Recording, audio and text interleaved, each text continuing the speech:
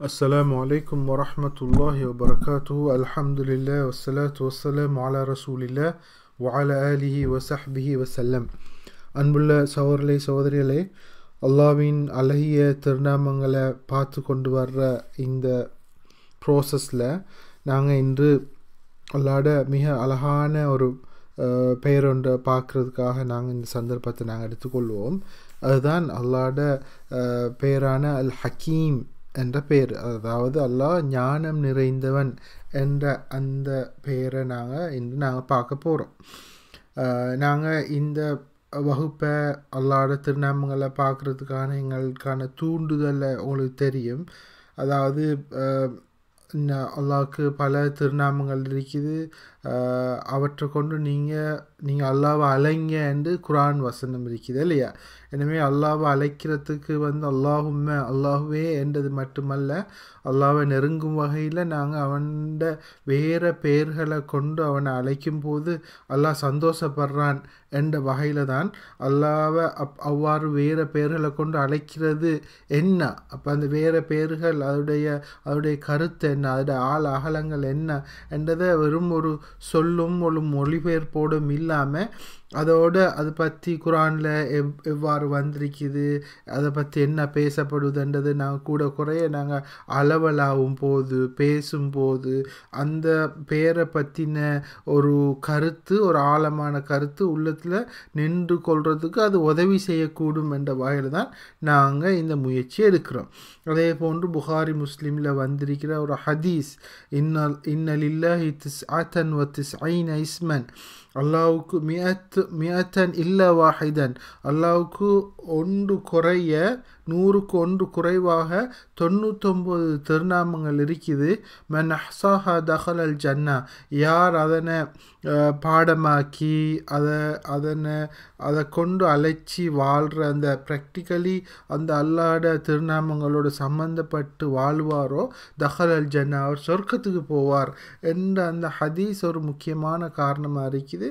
நாங்கள் இப்படி அந்த தொண்ணூத்தொம்பது திருநாமங்களை பல வழியிலையும் நாங்கள் அதில் சம்மந்தப்பட்டு கொலை பார்க்குறோம் முஸ்லீம்கள். முஸ்லீம் சமூகம் சம்மந்தப்பட்டு கொலை பார்க்குது ஆனாலும் நாங்கள் அந்த அந்த விஷயத்தில் நாங்கள் எங்கே இருக்கிறோம்னு ஒவ்வொரு இண்டிவிஜுவலும் நாங்கள் அதை பார்த்துக்கொள்ளணும். அது ரேடியோவில் அல்லாட பேரை சொல்லி இப்படி தான் இப்படி தான் போகிறதோ அல்லது நாங்கள் மொபைலில் போட்டு அதை ரசிக்கிறதோ அல்லது அதை வித்தியாசமான அமைப்புகளில் படித்து வச்சுக்கிறத பார்த்து புலகாங்கிதப்படுறதோ அல்லங்கன விஷயம். அதோட எங்களுக்கு என்ன தொடர்பு? எவ்வளோ எங்களுக்கு என்ன அட்டாச்மெண்ட் என்றதை நாங்கள் பார்த்து கொள்ள வேண்டிய இடத்துல இருக்கிறோம். அப்போ அல் ஹக்கீம் அல்லாட இந்த பண்பு அல்லா ஞானம் நிறைந்தவன்ற பண்பு மிக அழகான பேர் என்று நான் உங்களுக்கு சொன்னேன். அழகான விஷயம் தானே? அறிவு என்றது வந்து ஒரு பியூட்டிஃபுல்லான ஒரு விஷயம்.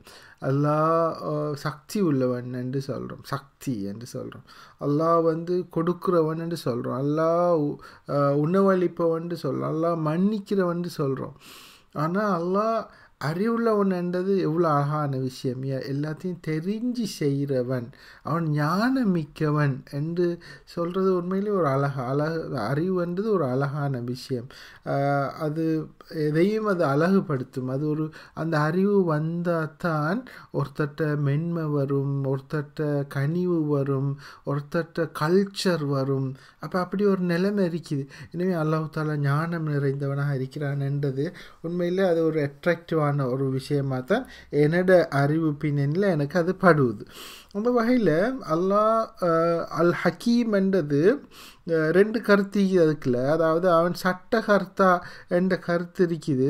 அஹ், அதை ஞானம் மிக்கவன் என்றது அப்போ அந்த அல்லாஹாலா சட்டம் சொல்பவன் ஆட்சியாளன் என்ற கருத்தில் நாங்கள் நாங்கள் இதுக்கு முன்னால் நாங்கள் பார்த்தோம். அல் ஹக்கம் என்று அல்லாவுக்கு பெயர் ஒன்று இருக்கு. அந்த இதில் நாங்கள் அது வந்து கூடுதலாக வந்து அல்லாஹ் சட்டம் சொல்கிறவன் அல்ல ஆட்சியாளன் அதாவது இறுதி முடிவு கொடுக்கிற நிலையில் இருக்கிறவன் தீர்ப்பு அளிப்பவன் பிரச்சனைகளை தீர்த்து வைப்பவன் என்ற அந்த கருத்து அதில் அல் ஹக்கம் என்றதில் கூட அந்த கருத்து.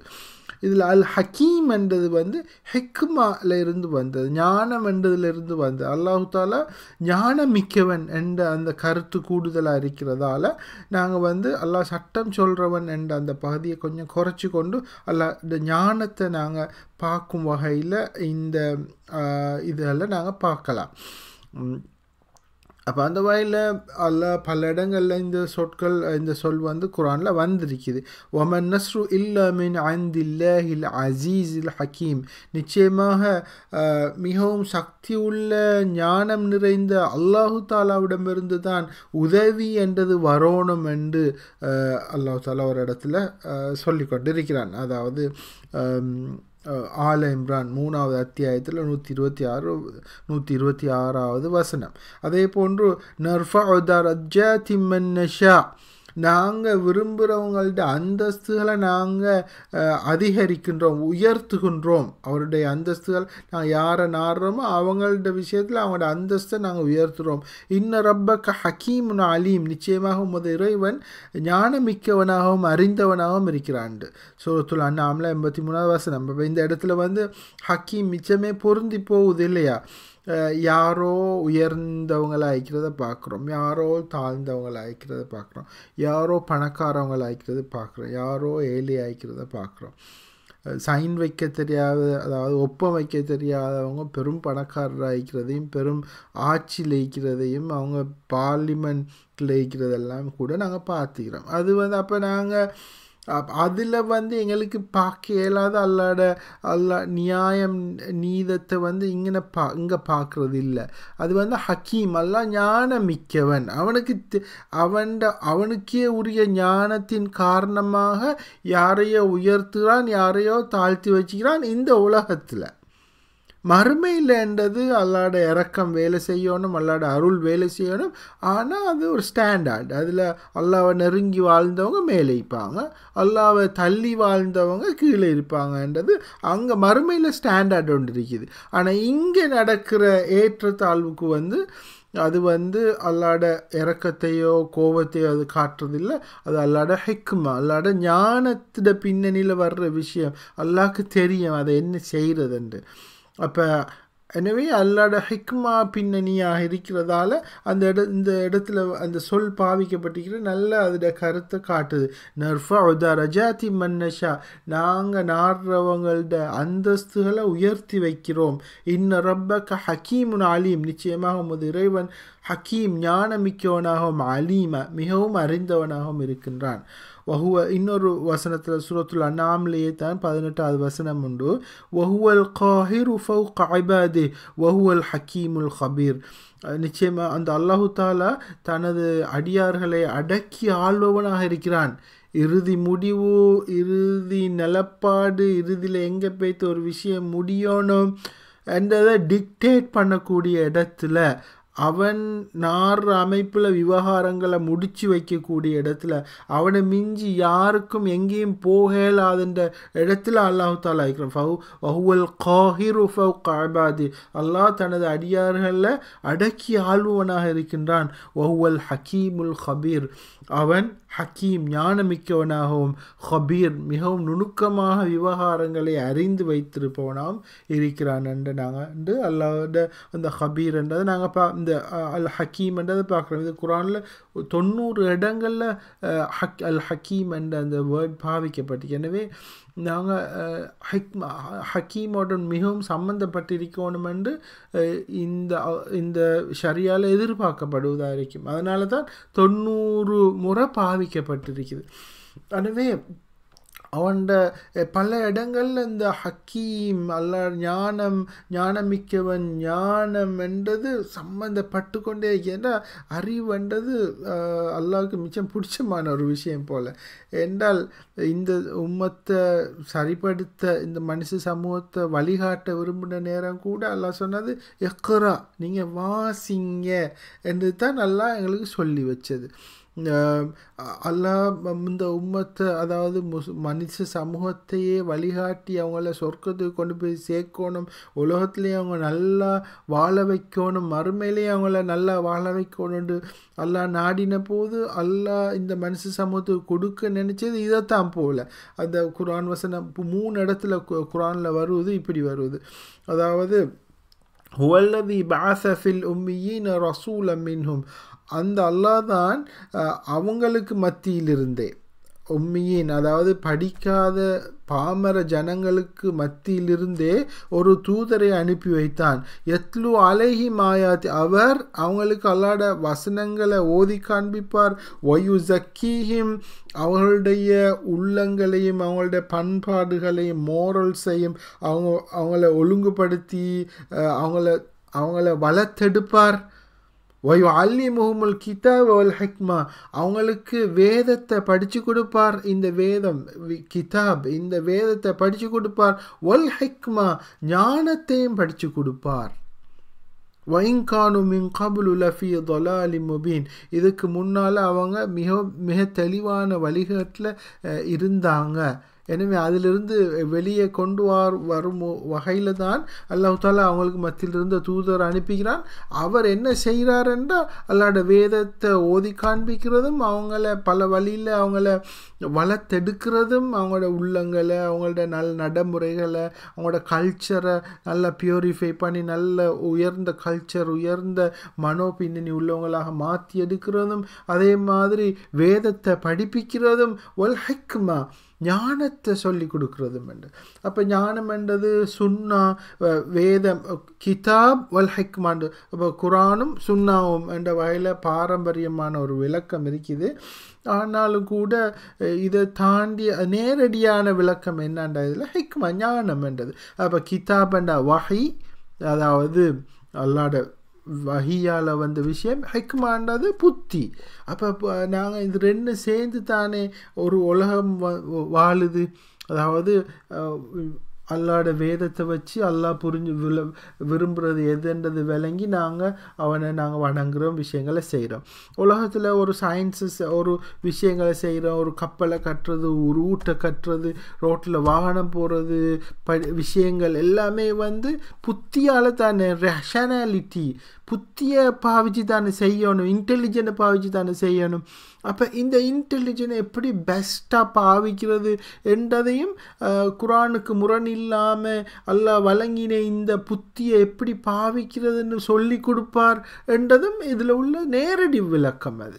அப்போ ஹெக்மான்றது சுண்ணா சுண்ணாவை குறிக்கும் என்று பலர் பாரம்பரியமாக சொன்னாலும் கூட அதில் இந்த நேரடி விளக்கமாக இருக்குது வந்து அவங்க வந்து புத்தியை எப்படி பாவிப்பாங்க என்றதையும் அவர் அந்த தூதர் சொல்லி கொடுப்பார் என்றது இதுலேருந்து நாங்கள் தெரியக்கூடியதாக இருக்குது அப்போ அப்போ இந்த மனுஷ சமூகத்தோட வெடிவுக்கு வந்து அல்லாஹ் கொடுத்த பரிகாரம் அல்லாஹ் தூதரை அனுப்பி வச்சான்னா அந்த தூதரோட முக்கியமான வேலையில் உண்டா? ஹிக்மா ஞானத்தை சொல்லி கொடுக்குறது ஞானத்தை கையாளுறது ஞானமிக்கமல்லாக வாழ்கிறது பற்றின அந்த அறிவு முக்கியமான ஒரு இடத்தை வகிக்குது. அந்த வகையில் அல்லாஹ் ஞானம் நிறைந்தவன்டா அல்லாட சட்டங்கள் ஞானம் நிறைந்தவை.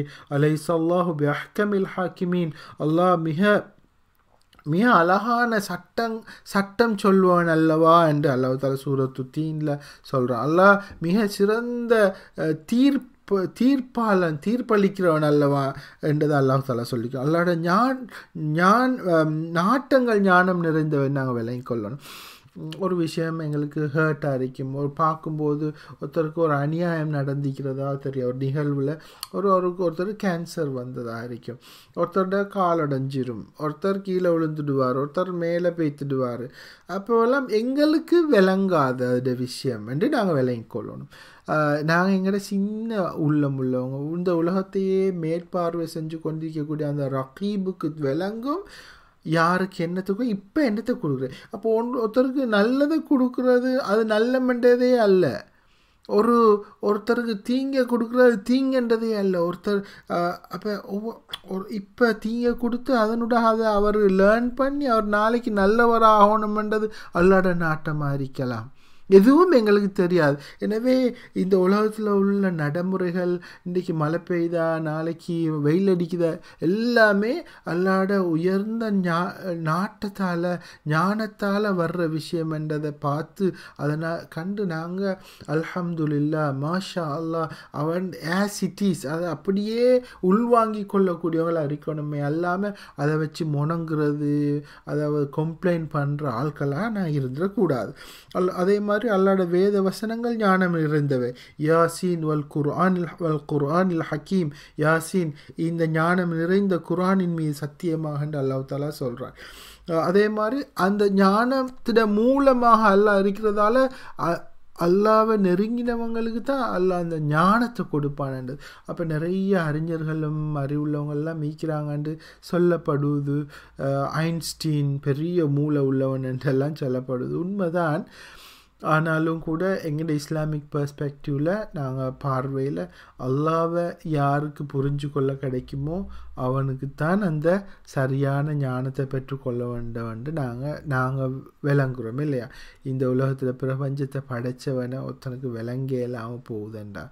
அவன் என்னத்தை அறிவிருந்து என்னத்தை என்னத்தை பிரயோசனம் அந்த உலகத்தை படைத்தவனை ஒருத்தனை விளங்கி அவனுக்கு நன்றி செலுத்த இல்லாமல் போகுதுன்ற ஒருத்தனுக்கு. அவன் எவ்வளோ பெரிய விஞ்ஞானியாக இருந்து என்ன? எனவே ஞானம் அறிவு ஒன்று ஒன்று இருக்குது ஞானம் ஒன்று இருக்குதுன்னு நாங்கள் இஸ்லாமிய பின்னணியில் நாங்கள் ஒரு வேர்டிங்கை பாவிக்கிறோம். அப்போ ஞானத்தை நாங்கள் சொல்லுவோம் என்னென்னா யார் இந்த பிரபஞ்சத்தை படைத்தவனை விளங்கி அவனுக்கு நன்றி செலுத்தும் வகையில் தன்னை அமைச்சு கொள்கிறானோ அவன் தான் இந்த ஞானத்தை பெற்றுக்கொண்டவன்னு நாங்கள் சொல்கிறோம் இந்த பிரபஞ்சத்தை அல்லா ஞானத்தின் அடிப்படையில் தான் படைச்சிக்கிறான்.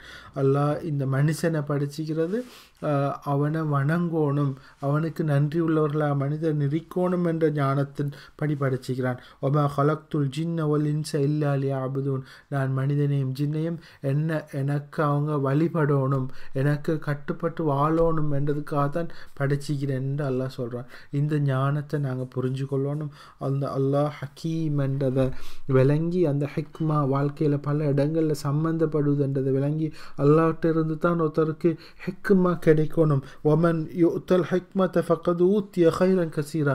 யாருக்கு அந்த ஞானம் கிடைச்சிதோ அல்லாட்டேந்து வரக்கூடிய அந்த ஞானம் கிடைச்சதோ அவர் பெரும் பெரும் நன்மைகள் கிடைக்கப்பட்டவர் என்று அல்லாஹ் சொல்கிறான் எனவே அது பெரும் நன்மையான ஒரு விஷயம் என்று அல்லாவே ரெகக்னைஸ் பண்ணுற ஒரு விஷயமா இருக்குது. எனவே ஞானத்தோடு சம்பந்தப்பட்ட அல்லாவை ஹக்கீமாக கொண்ட ஹெக்குமத்தான் அதாவது வே ஃபார்வர்டாக அல்லாஹ் ஒரு சொல்யூஷனாக முன் வச்சுக்கிற அதுதான் ஹைரன் கசீரா மிகப்பெரிய நலவு என்று சொல்கிற அந்த ஹெக்மத்தோடு சம்மந்தப்படுறவங்களாக இந்த முஸ்லீம் சமூகம் மாறிடணும். நாங்கள் பாமர சமூகமாக இருக்கிறது. உண்மையில் இந்த மார்க்கத்தை சரியாக விளங்கி கொள்ளாத நிலை என்றதை தான் காட்டுதே அல்லாமல் நாங்கள் இந்த மார்க்கத்தை விட்டு மிக தூரமான இடத்துல இருக்கிறோம் என்றது தான் காட்டுதே அல்லாமல் வேறு ஒன்றுமே இல்லை. எனவே ஹக்கீமோடு சம்பந்தப்பட்ட நாங்கள் நாங்களும் பெரும் அறிவுள்ளவங்களாக உலகத்தை வழிநடத்துகிறவங்களாக நாங்களும் மாறிக்கொள்ளணும். எல்லாம் எங்களுக்கு வழிகாட்டணும்.